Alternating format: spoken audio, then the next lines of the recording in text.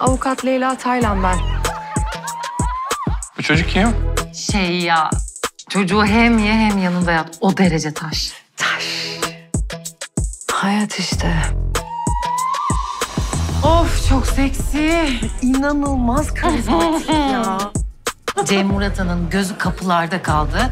Adamın üçüncü evliliği, üç yıldan fazla süren evliliği yok.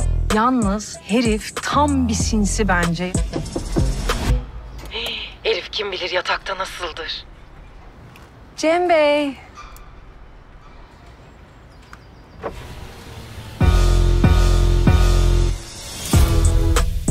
Neden sürekli beni düşünüyorsun? Kız yazı var, kışı var. Koy kenara dursun.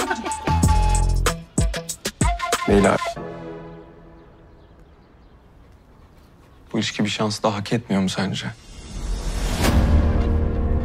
Ömer, yalan söyledin.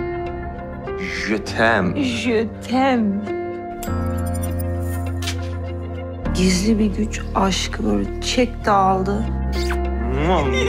Özlüyorum, kızıyorum. Hatırlıyorum, kızıyorum. Nasılım? Karma karışığım. Ama soranlara iyiyim diyorum.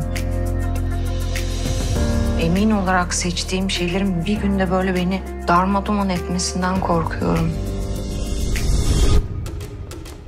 Pişman olmaktan.